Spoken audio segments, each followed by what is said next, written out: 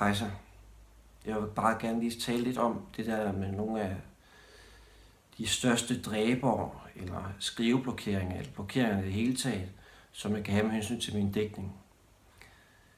Og jeg har jo prøvet nu i nogle år, tre år tror jeg, måske mere end det, at samle øh, en ny digtsamling, ligesom så kunne være den, det bedste, øh, jeg nogensinde har skrevet. Øh, og måske også nogensinde kom til at skrive. I hvert fald sådan, som det ud, ser ud nu. Og så det er jo derfor, jeg kalder det mesterværket selvfølgelig. Og det, det har jo gjort det, øh, at det er ret svært at få samlet sådan en digtsamling. Men noget, der er endnu sværere for mig, det er, at det der med, når man har skrevet nogle digte, som jeg synes egentlig er til at forstå, hvis man læser sådan rimelig fornuftig dansk, øh, og også forstår dansk, for eksempel hvis jeg læser den digte op og sådan, men alligevel det bliver misforstået, den poesi. Den bliver simpelthen så misforstået, at jeg synes, det er underligt. Jeg synes, det nærmest er... Øh, jamen, det er uforklarligt næsten. Jeg kan komme med et eksempel. Jeg har et digt, som jeg skrev for fire år siden, tænker jeg. Det hedder Stakland. Og den handler om en mand, som så i mellemtiden er død øh, af sit alkoholmisbrug. Men øh, den handler om den her mand, som jeg talte med, og han fortalte jo mig alt muligt øh, historier, både sjove, men også triste historier. Han fortalte blandt andet om hans øh, privatliv, med at han øh, var gift, og øh, havde nogle børn. Men øh, de tre ud af fire børn, det var altså ikke hans egen. Det var nemlig nogen, som hans hustru havde lavet i utroskab. Og hustruen døde også ret tidligt, øh, eller døde sådan ret ung, øh, af kræftsygdom, og derfor lod ham tilbage med børnene og hele tilværelsen. Øh, og ja, det er du ud fra hans alkoholmisbrug, men også de historier, som han fortalte mig. Blandt andet det der med, at øh, han, øh, han ved, at der er en verden, men han vil hellere flyde rundt i verdensrummet. Fordi altså, han kunne ikke rigtig magte de her håndgribelige ting, og der var faktisk ikke noget, der kørte for ham i den sidste måske 20 år eller mere, måske 30 år af hans liv. Det digt, det er der nogen, der tror, det handler om mig. Og først så har jeg ikke været gift endnu. Så jeg kan ikke have haft en hustru, der døde af kræft. Desuden så er jeg kun lige fyldt 26. På det tidspunkt, jeg skrev digtet, der var jeg nok 22-23, tænker jeg.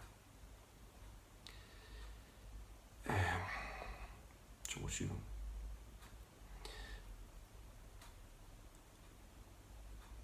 Og jeg fatter ikke, hvordan folk de kan tænke, om det handler der om dig, Kenneth.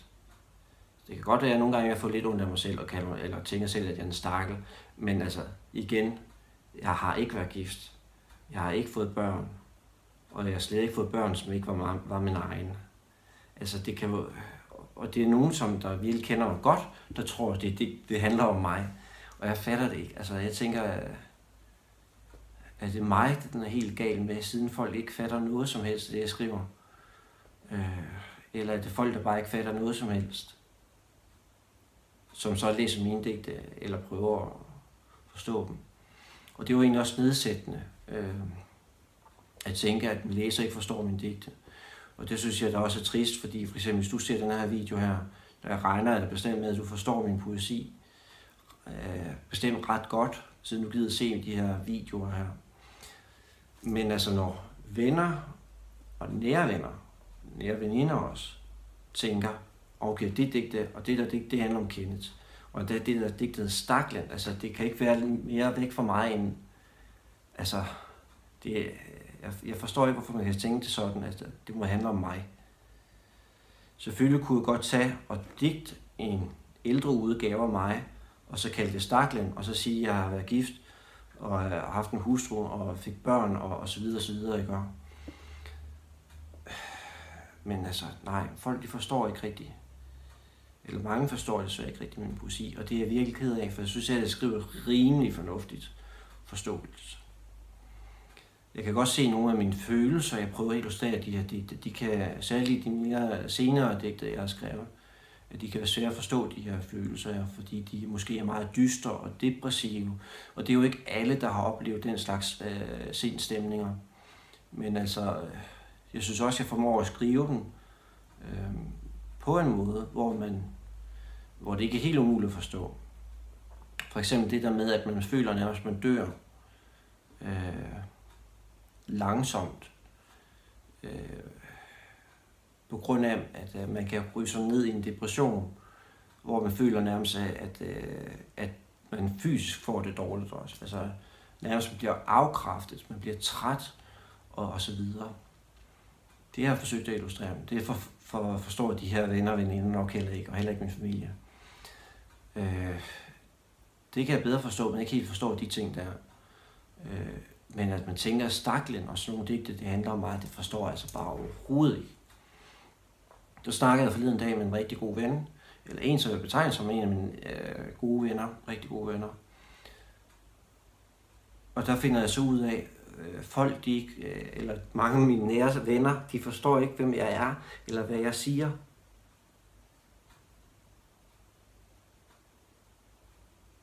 Og det synes jeg er ret uhyggeligt. Så sagde jeg, øh, vi snakker blandt andet om noget, noget øh, jamen, nogle forskellige emner.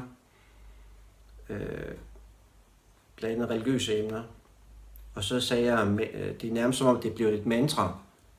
X, X, X, X, X. Og vedkommende forstod ikke ordet mantra. Vedkommende er også lige et par år yngre end mig, men, men han er da i hvert fald fyldt 22.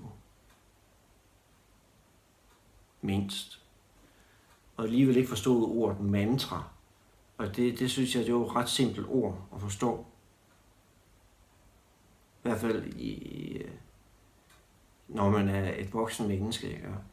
og er sådan almindelig fornuft øh, begavet. Eller måske ikke, ikke fornuftigt begavet, men bare sådan rimelig moden, ikke? Øh, og det, altså, jeg tænker sådan, hvad er, hvad er det her for noget? Altså, og det er virkelig dræbende for mig. Jeg prøver ligesom at illustrere nogle ting og sager i min poesi, og det forstår folk så ikke. Men det er også fordi, de ikke rigtig læser poesi. For eksempel min, min, min kære far, som er meget, meget, meget, meget begavet, meget højt begavet, har et fantastisk arbejde og øh, har en masse uddannelse bag sig, og læser en masse, altså helt vildt meget. Øh, han er altid i gang med øh, tre bøger i gang nærmest og han får dem også læst. Men han forstår så ikke, hvorfor min digte så skal være negative.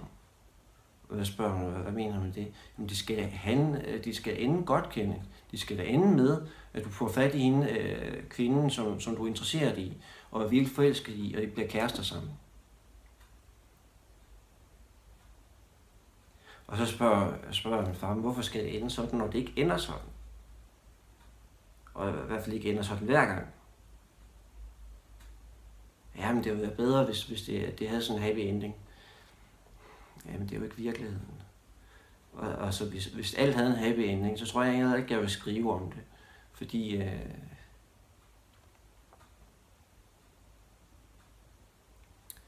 fordi så tror jeg ikke, at jeg føler, at jeg har behov for at skrive det. Fordi man kan godt se, måske det ikke det kan være sådan lidt en personlig terapi, og alligevel ikke. Det er også... Øh,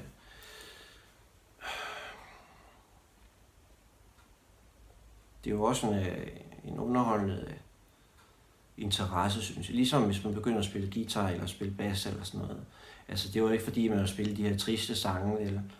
Nej, men det er fordi, man egentlig synes, det er interessant, hvis man kunne sidde derhjemme og, spille lidt øh, og hygge sig, og måske senere blive så dygtig, at man kan være med i en lille gruppe, og så mødes en gang imellem og, og spille musik. Altså det er, jo, det er jo sådan en underholdende interesse, og det synes jeg også, det, det kan være, men, men det kan også være sådan en personlig terapi.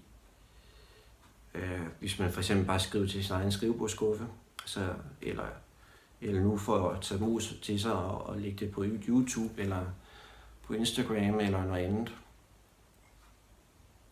Men altså, hold da op, jeg synes, det, det er virkelig chokerende for mig, når, når jeg øh, hører og finder ud af, hvor, hvor svært det er at forstå mine digte, og også hvad jeg siger i det hele taget.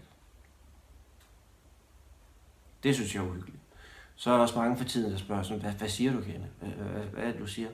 Jeg ved ikke, om det er fordi, de ikke lytter, eller om fordi de ikke kan, kan høre, hvad jeg siger socialt og selv, jeg taler ret højt. Øh, jeg ved om også med min kære lille søster, at hun siger, hvorfor råber du, Kenneth? Jeg sidder lige her ved siden af dig. Hvorfor jo, jeg bare jeg kan, at vi bare visker. Vi skal, vi, skal, vi skal bare viske lidt. Så de kan godt høre det, Kenneth. Altså, øh, så, sådan vil hun sige det, ikke? Men altså, når jeg taler det her toneleje, som jeg nu gør, øh, hvad, hvad siger du, Kenneth? Hvad siger du? Hvad siger du? Jeg synes, det er virkelig svært. Og så tænker jeg sådan, skal jeg behøve overhovedet gentage det, fordi det, det er nok ikke noget af betydning alligevel, det, er det jeg sagde, og slet ikke siden det ikke blev hørt. Øh. Og så tænker jeg, skal jeg skrive det ned for, for vedkommende? Fordi man kan jo godt være et sted, hvor der er så meget larm.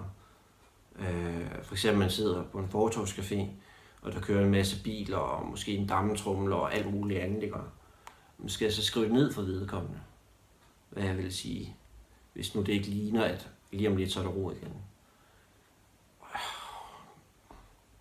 Og det kan godt virke arrogant det her, men det er det ikke. Det er en, men jeg vil sige, at jeg er desperat. Jeg er en desperat situation, fordi jeg ikke føler, at jeg bliver forstået der. Øh, med de her latterlige kendestik, det her, ikke? Som jeg troede var ret simple.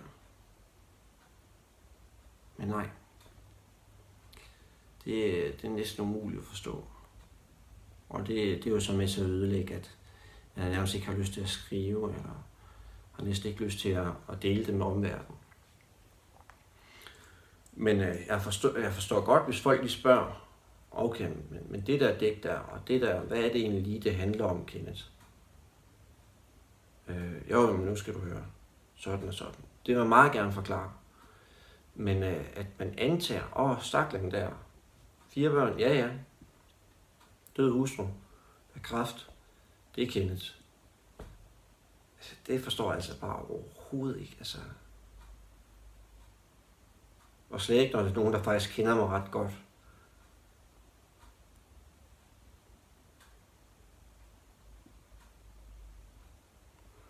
Ja. Men det er virkelig en dræber for mig, det der med, altså, nu, nu kører jeg også mig i ring. Eller det gør jeg jo allerede. Men, men det, det er altså en af de her ting, der virkelig kan genere mig personligt med hensyn til min digtskrivning, hvor jeg næsten ikke har lyst til at skrive mere. Heller ikke rigtig lyst til at dele det mere. Og måske, jo, men så skriver jeg så nogle digte alligevel, fordi jeg synes ligesom, ej, det her det er et godt digt. Og det her, jamen, det kan mærke, det her det bliver til et godt digt. Og så, så går jeg i gang med at, med at få det lavet, ikke? det her digt. Men øh, jeg mistede virkelig motivationen til at gøre mig umage og til at dele det, når det åbenbart er så svært øh, at forstå øh, betydningen af. Så det var lidt sådan en lidt, nej, det var faktisk en meget øh, både trist, men også frustrerende video her, jeg har fået lavet her, fordi jo, men det er, en, det er trist og frustrerende, når man virkelig prøver at gøre sig forståelig, men der bliver så overhovedet ikke forstået noget rigtigt blandt ens nære venner og veninder og familie og sådan noget. Men så tænker jeg også, hvorfor forstår det det? Ja, de, de har nok ikke læst så meget poesi i, i øh, siden de gik i folkeskolen. Ja. Fordi, øh, hvad, hvad skulle det ellers være mening? Altså, så tit så kommer jeg også ind i den diskussion, at det er helt sikkert, det er mange af andre, der skriver digte, også kommer ind i den diskussion. Digte skal rime, hvis det ikke rimer, så er det ikke digt. Og øh, den, det er en klassisk diskussion, den er jeg helt sikker på, den har du sikkert også oplevet. Øh, ja. Men det var det her, jeg ville fortælle. Det blev også en lang video på cirka 15 minutter. Så tak fordi du så med, og ja, jeg, jeg, jeg takker for det, og jeg håber, du har det godt, og du får skrevet nogle gode digte, eller får læst nogle gode digte og den slags. Og i hvert fald, nu er det jo blevet efterår, så håber jeg, du får godt efterår. Hej så fra Kendes Digte.